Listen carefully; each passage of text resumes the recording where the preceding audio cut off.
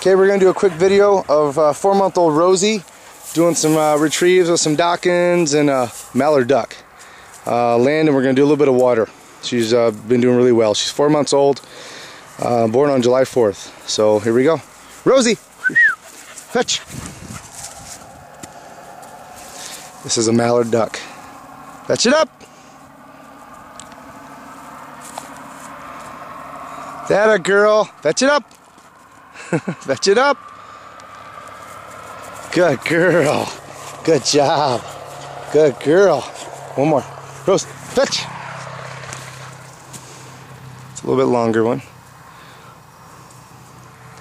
Fetch it up. Fetch it up, Rosie. Good girl. Fetch it up. Good girl. Good girl. That a girl.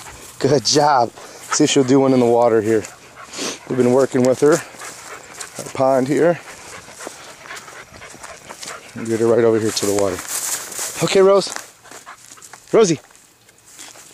Fetch. Fetch it up.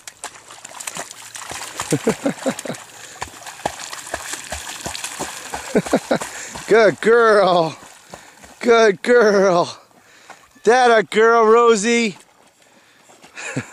a little bit choppy, but she's getting the hang of it. Good girl, come. Good girl. Good girl. We'll do one more. Rosie, fetch. That's a little better. Right after that duck. and her uh, choppiness will smooth out as she gets older and gets comfortable with herself in the water. She's four months old, retrieving a duck out of the water. Fetch it up. Fetch it up. Good girl. Good girl, Rosie. Good girl. So this is four-month-old Rosie doing some land and water retrieves. She's currently for sale. She's gonna make an awesome hunting dog. Probably top out around 75 pounds to 70 pounds.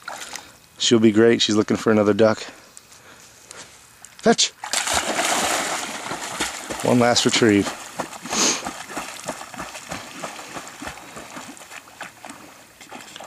Good girl. Once again, this is Rosie, black lab female, four months old, retrieving a mallard duck out of a pond here at the end of October. Good girl. Good girl, Rosie. Good girl. That a girl. Good job.